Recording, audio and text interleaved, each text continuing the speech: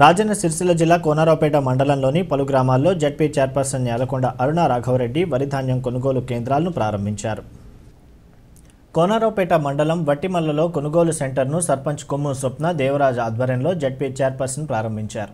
కార్యక్రమంలో MPP Chandraiah Goud single window chairman Banda Narsaiah మండల TRS అధ్యక్షులు రాఘవరెడ్డి వార్డు నెంబర్ రాజేందర్ రైతులు గంగారం నాగరాజు జట్టి లక్ష్మణ్ నల్లమల్ల రెడ్డి దాదే మల్లేశం దిటి సాయిలు రైతులు పాల్గొన్నారు.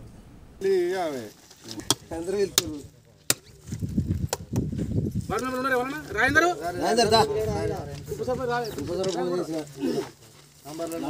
అయితే మొత్తం పరిశాన పెట్టిందామె మళ్ళా రైతులందరూ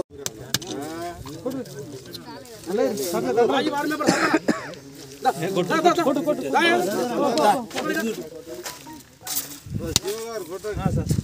శివగారు